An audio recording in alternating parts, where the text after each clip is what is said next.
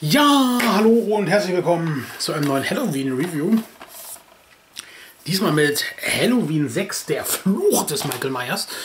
Na, mal gucken, wie viele Titel es noch gibt, wo man irgendwie was mit Michael Myers reinbringt. So ne, der freie Tag von Michael Myers oder so. Ja, war hübsch gewesen.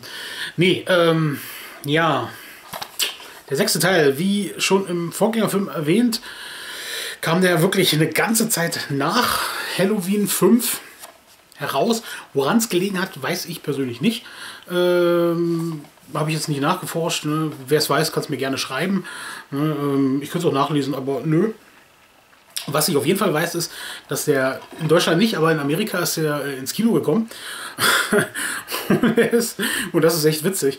Und er ist äh, zur selben Zeit ins Kino gekommen oder halt kurz nachdem Sieben, also der von David Fincher mit, mit Brad Pitt und Morgan Freeman äh, im Kino war. Und er hat es tatsächlich geschafft, sieben äh, von der Spitze der Kinocharts abzulösen. Was natürlich jetzt in dem Sinne nicht schwer war, weil sieben schon irgendwie eine Weile drin war. Und äh, die Leute einfach jetzt alle haben den Film genug gesehen. Und äh, ja, dann irgendwann fällt er halt runter und dann kommt halt neuer. Und das war eben dieser hier, witzigerweise, und ich weiß noch ganz genau, dass sie damals äh, in der Videothek haben sie extra damit geworben, der Film, der es geschafft hat, sieben von der äh, Kinotopliste zu löschen oder so. Und ich gesagt habe, naja, ähm, hm. Wie schon erwähnt, also irgendeiner wäre es ja nun mal gewesen und, und das, der war nur in der Zeit da, aber es war ja nur nicht so, dass das sieben gestartet ist und, und der kam quasi einen Tag später und sofort plopp, ne, war, war sieben weg oder so. Ganz so schlimm ist es nicht. Ne, er hatte halt einfach da irgendwie seine eine Woche, wo er an der, Top, an der Spitze stand. Okay, worum geht's? Er schließt wieder am, am Vorgängerfilm an, also an, an Teil 5, der da schon erwähnte äh, schwarze Mann entführt sozusagen Michael Myers und äh, die kleine Jamie. Und er macht halt auch diesen, diesen Zeitsprung sozusagen mit. Und Jamie, die ja da, weiß ich nicht, 10 oder so war, ist inzwischen, naja, sagen wir mal, vielleicht nicht erwachsen, aber zumindest alt genug, um Nachwuchs äh, zu empfangen. Und die sind jetzt beide, also dieser, dieser schwarze Mann ist irgendwie so, so Führer von so einem Kult, von so einer komischen Sekte. Und äh, die irgendwie Michael Myers anbeten, beziehungsweise sein Werk anbeten. Und ähm, ja, irgendwie zeugt dabei, äh, das wird jetzt nicht gezeigt, aber es wird halt so, so, so angedeutet, Michael Myers mit Jamie ein Kind. Ja, also quasi der Onkel mit seiner äh, Nichte.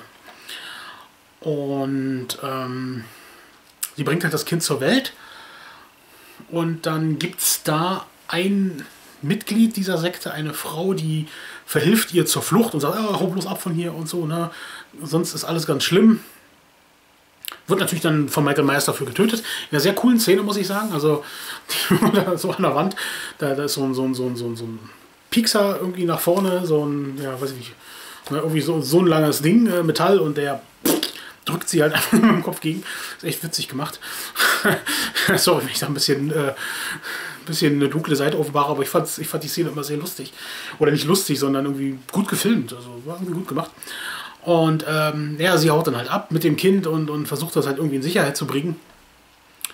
Und äh, aber natürlich findet Michael sie, weil, weil sie irgendwie rennt und, und, und mit dem Wagen wegfährt. Und Michael, der bewegt sich ja immer bloß so im Schneckentempo, aber äh, ist trotzdem sofort wieder hinter ihr. Und, und schafft es zwar, sie zu töten, aber das Kind findet er nicht. Also sie hat es halt irgendwie noch versteckt. Und das findet, weil er sich auch ein bisschen damit beschäftigt, der junge Paul Rudd. Ja, also der heute ein relativ bekannter Schauspieler ist, hat, glaube ich, hier so seine erste Rolle gehabt. Oder zumindest eine, eine ganz, ganz frühe Folge. Äh, ja, eine ganz, ganz frühe äh, äh, Stelle. Nee, wie sagt man? Rolle. Ja, Rolle. Ne? Hm.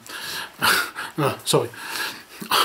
Und, und der findet halt dieses Kind und, und weiß halt sofort, ah, okay, es ist das Kind von Michael Myers und, und wird halt sein neues Ziel sein und wir müssen es beschützen und überhaupt. Und gleichzeitig ähm, sind in dem alten Haus von Michael Myers sind äh, sozusagen die, die Nachfahren, wie sagt man, Nachkommen? Nee, auch nicht.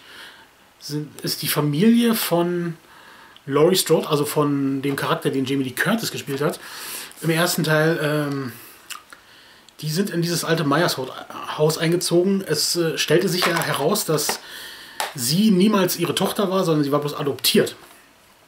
Naja, und äh, die haben auch ein Kind, beziehungsweise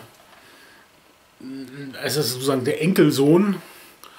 Und, und der hat so, na nicht Visionen, aber, aber so, so Albträume und, und träumt halt irgendwie von, von, von, nenne ich direkt von Michael Myers, aber auch so ein bisschen von so einer schwarzen Gestalt und dass er äh, quasi in seine Fußstapfen treten soll und für ihn töten soll und so. Äh, ist alles ein bisschen verrückt. Und, und das alles kommt nun zusammen und wie gesagt, da ist das mit diesem, mit diesem schwarzen Mann-Kult und, und Michael Myers, der natürlich dann wieder äh, nach Haddonfield kommt, natürlich auch wieder passend genau zu Halloween logischerweise.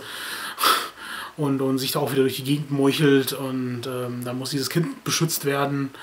Und, und, und, äh, passiert eine ganze Menge. Klingt jetzt erstmal sehr viel, ist für den Film selbst relativ logisch miteinander verwoben.